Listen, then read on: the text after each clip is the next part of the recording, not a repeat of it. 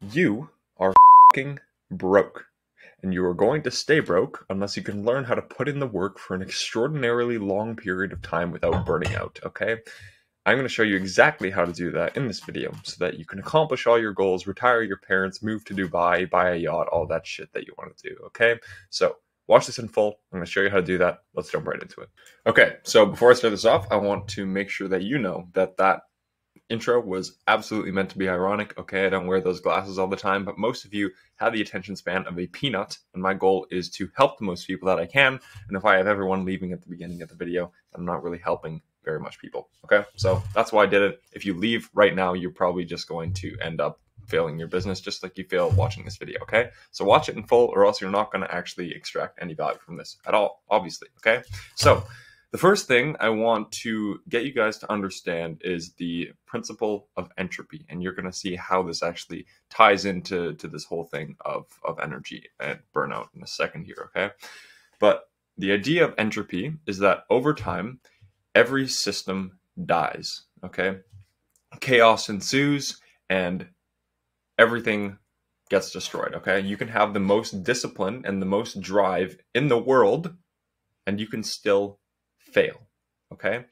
And the reason for that is because entropy cannot be stopped. Okay. If you have a higher level of discipline than your neighbor, right, you might be able to sustain it for a long time. However, eventually it will disappear unless energy is used to maintain that level of drive. Okay. So this is an issue that I was really dealing with like not too long ago. Okay. And I realized I hadn't put like I was working for like eight months straight, no days off, 12 hours a day, every single day. And I was not giving any time to my mind. Okay. And I think I had pretty strong discipline and pretty strong drive. However, over time, right, that's going to end up fading if I don't take care of myself. Okay. And I basically ignored my entire mental health. Um, and that kind of led me to a place where I was like lacking drive and lacking the reason as to why I wanted to keep on doing this. Okay. And thankfully, I caught myself. I'm like, okay, um, let's take a look at what's going on in my head um, because right all systems fail. I need to put some energy back into this system so that i'm actually able to achieve the result that i want to achieve okay? So the main thing here is you might think you have the most discipline in the world or you might think you have the biggest reason and the largest drive but if you're not constantly putting energy back into that that system you will eventually lose passion and you will fail okay? And the whole premise of actually succeeding in business is being able to do the same thing for a very very long period of time right? And i'll get into more of that a little bit later. If you cannot stick to one thing for a very long amount of time and if you don't have a system that's able to um, allow you to be consistent with yourself right you're going to fail okay so there is a there's a caveat to this too well it's not really a caveat but more more of a side note where you want to be putting as much work in as possible, okay? Because here's the difference, right? If you're putting in 10 hours a day every single day and your neighbor is putting in 1 hour a day of work every single day, you are going to achieve your result 10 times faster than him, okay? The difference is that if you burn out, then you can't go for any longer and then you automatically lose Okay. So you need to find a balance where you're putting in the most amount of work as humanly possible while also putting back the energy into the system that's allowing you to put that work in. Okay. So if you can work 10 hours a day for seven days a week for eight months, then do that. But make sure, like, before you come to that eight months, that you start spending like maybe an hour a day like actually doing things that are going to be able to improve your mental health. Okay. Because, right, if you work for eight months and it doesn't work out, which a lot of the times it won't, you need to make sure you are able to go for longer. Okay. You can't bank on the fact that you will succeed in eight months because a lot of the times you won't. And you need to have that expectation that it's going to take a very long time. And that's the shitty truth, but that's just how it works. Okay. So make sure, like, every person's number is going to be different. Make sure you're putting in the most amount of work as humanly possible while also maintaining that level of consistency for a very long time. If you're not able to work at 10 hours a day, seven days a week, then it's, it's better, right? It's better to work six days a week for five years than seven days a week for like two years. Okay. It's like you're going to see much more success because your understanding and your knowledge is going to compound over time, right? And if you can do seven days a week for the same amount of time that the other person could only do six days a week, then you have then that's even better, right? But you need to make sure that you are able to stay consistent for an extraordinarily long amount of time, and you can only do that by introducing energy back into the system that's allowing you to actually accomplish that. Okay. Now, what do I mean by introducing energy back into the system? And I'm giving, I'm going to give you a framework for how I actually, um, how I actually do this myself. And there's a combination of different ways that you actually want to execute this. Um, but it really all starts with your goal. Okay. Because if I draw a graph for you here, either way, it's going to be very difficult. So this is what, and I know everyone draws this stupid graph, okay, but it actually is very helpful to understand that this is, if you can't see that properly, it's just an exponential graph, okay? I'm not even going to show it because you can't even see it properly. But it's an exponential graph, okay? And that bottom part, right? I'll pull this up because it's important to actually show you how this how this looks, okay? So this bottom part here, if you can see it, this you need to expect this to take a very very very very very long time. Like this might take seven years. Um and that is like like i'm not even at the point of of this exponential growth here but you need to be understanding of that because if you think that this bottom part is like 60 days and you get to 60 days and you haven't achieved your goal right it's going to be very painful and it's going to make you doubt in your ability that you're actually ever going to be able to accomplish this. And most people quit at that point. Most people quit not because they don't have the skills or anything like that. It's not because they don't have the discipline. It's because they have false expectations of reality and they think they're going to achieve their goal in a matter of a few months when in reality it's going to take a few years. Okay. And that is ultimately the reason why 99.9% of people end up failing because they they set their goal. They, I'm going to make 10K per month in like four months, right? They get to four months. They're not making 10K per month. And they're like, okay, well, I'll give myself another four months. Then they do it for another four months and they still don't get there. And then they get discouraged and then they quit. Okay. You have to be ready for this to take years. Okay. And that's the only way to actually maintain your your mind right in order to actually accomplish this goal now this is not for everyone by the way. Like this is a very like painful experience. This is like walking through fire right here. This is only actually worth it if this goal is really like if what's up here is really really really really really important to you. That's the only way it's actually going to be worth it, right? So if you want to get 10k per month just because you want like a cool watch for no other reason than that, like you it's probably not going to that's probably not going to be a big enough why, a big enough reason to actually want to go through all this pain at the beginning of that that growth, right? So the way that that I actually figured out like what my you have to like really like take a look at yourself and figure out your deep deep desires um, and your deep reasons for actually why this is something that is important to you. I'm just using 10K a month as an example, right? That's like the most common shiny object that everyone thinks of. Um, it might be a lot bigger than that. It might be different, right? So take your own number. Um, but you have to really deconstruct that, deconstruct it. So I'll use 10K per month as an example. Um, pick your number that actually resonates with you. I'm just picking this as a like random number, right? You have to deconstruct, you have to ask yourself, why do you want that number? Okay, then you're going to get yourself an answer. Then you ask yourself, why do you want that? And then you ask yourself why you want that, and why you want that, and why you want that, and why you want that. Eventually, once you cannot answer that question anymore, you're going to come down to the very ugly truth of why you why why you want what you want and that might be because you were neglected as a child it might be because people never believed in you right it, like you're like this isn't going to be like I want 10k per month because I want to drive like a nice car. It's going to be something much deeper than that. Probably something related to like your childhood or something like that, right? Um, but this isn't something that that is like this. This has to be a deep level reason. Like most people say they want their goal just for monetary reasons, right? That's extremely shallow.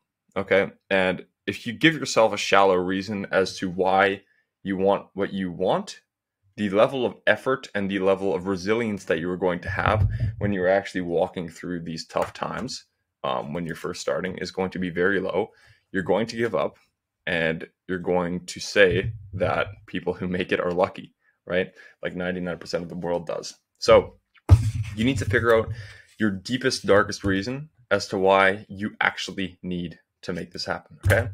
Now we'll get into the actual like the the way you can actually maintain this system and this way of thought now that we have your goal okay so what i have is basically a not really a journal it's kind of like a little notebook that i basically have my routine on it um my like my all the details about what the future is that i want um like how what i want my future to look like and then kind of relating it back to the reason why i want that okay?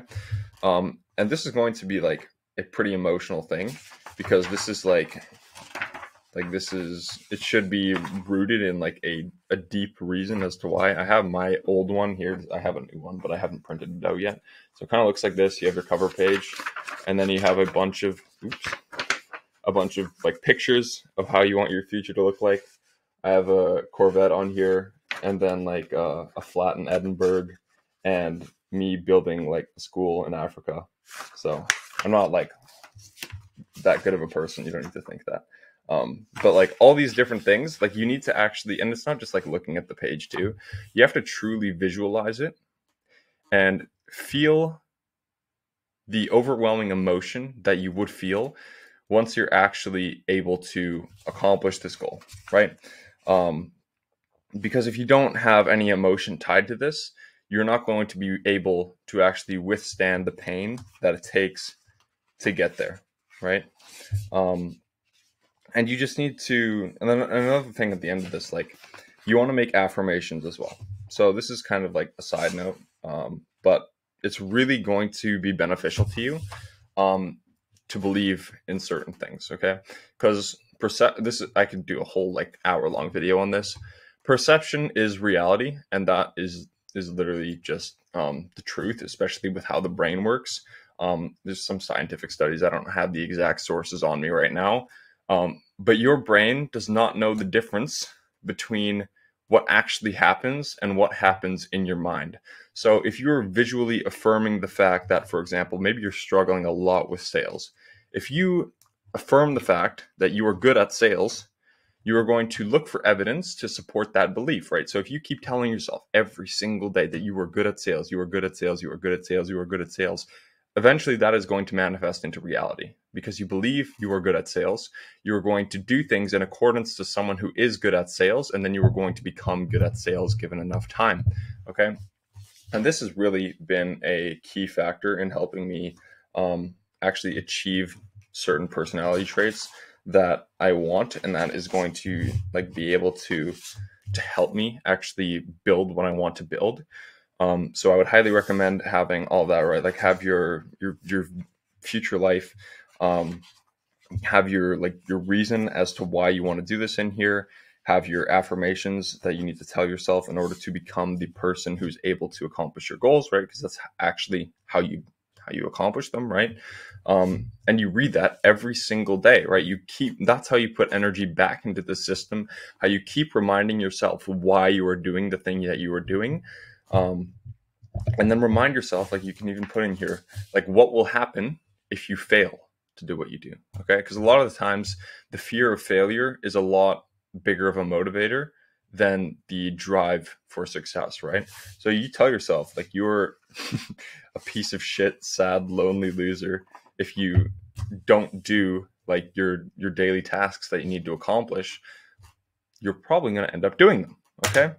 Now, there's one more kind of model that I wanted to to share here, and this is going to be another graph Um, I'm actually going to draw this on my Miro board because this whiteboard kind of sucks. So let's um, let's go into that. Okay, so this model here that I'm going to show you, like this literally changed my entire mindset um, and was actually like massive in terms of like me being able to grow as an entrepreneur in general. Okay, so I'm going to draw this out for you here, and this like this should actually blow your mind. Okay, um, and I mean it's not that complicated if you think about it, and you probably subconsciously know this already. Um, but actually drawing this out is extremely, extremely, extremely important. Okay, so there's three domains that your business functions in. Okay, so it has to do with your the niche. Okay, that is a big pen. Okay, the niche that you are in, right? Um, the problem that you solve, and the solution that you actually like the solution that you have to solve the problem, right? And for each of these things, right? So here's what I originally thought. So it's just an exponential graph, right? You're in this phase, you're in the beginning phase, you're not going to see much growth, okay? But what you actually have to understand is there's an exponential graph for each of these three things, right? So if we want to take um, these and separate them a little bit, um, right, you have your problem, your solution, and your niche.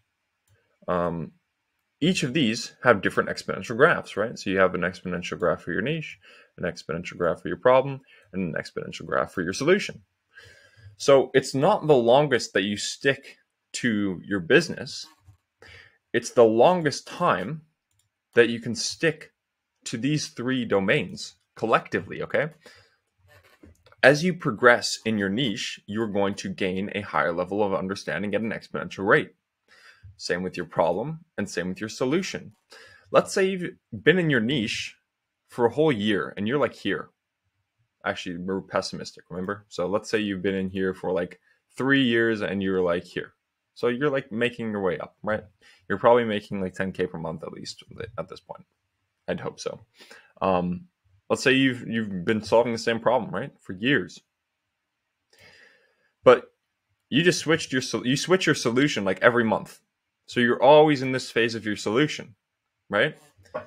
And the the the highest bottleneck right the first bottleneck is what inhibits your system right? So you have your your system here like this whole thing but if you're being bottlenecked at the very part, like your whole, your overall exponential graph, like this is what it looks like when you combine the three, it's not going to be somewhere in the middle. It's actually going to be right here, right? Because this solution, right, you're changing your solution so you don't have an under, uh, understanding of your whole system.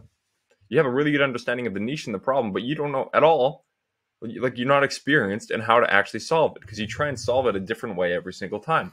And this is what I was experiencing, right? So you, you hear people like niche hopping and how this is a terrible thing, which it is, um, honestly, because this is going to reset here, right?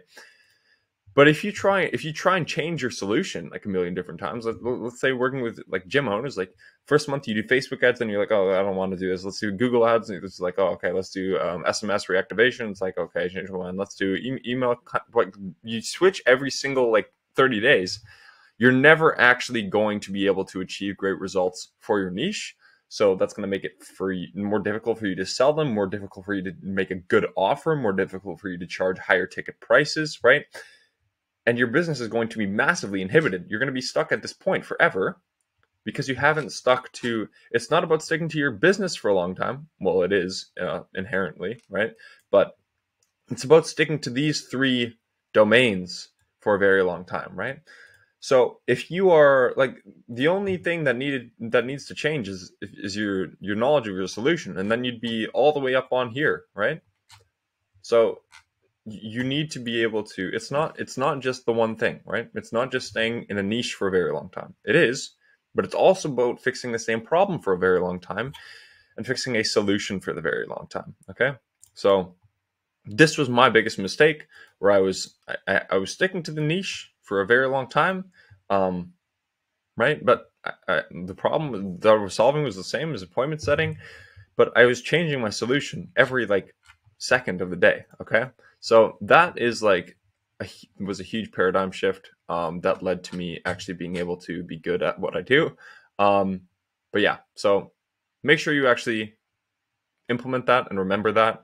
And I even put that in my in my new like book here, um, just to remind me that I need to stick to my domains and to stick stick to my circle of competence um, is something that Alex Hormozi says, which I can uh, again I can make another whole video on what that actually means, right? But you have one thing that you're super good at, like maybe you're really good at appointment setting in my example, and you're like decent at sales, you're like okay at sales, but it's like not within your circle of competence. It's within your like greater range of knowledge.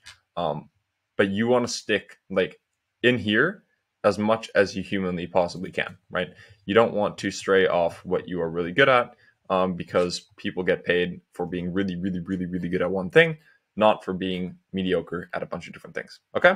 So that's basically all that I wanted to um, explain in this video. I hope you found it useful. If you did, you can subscribe. YouTube will recommend more uh, videos like this. So obviously you can grow your business at a faster rate. If you want free coaching, I'm coaching you, um, or I'm coaching my Facebook community every single Saturday at 11 o'clock Eastern time. So you can hop over there. Um, the link is in the description for that. Um, that's pretty much it. Okay. Hope you have a great rest of your day and I'll see you in the next one.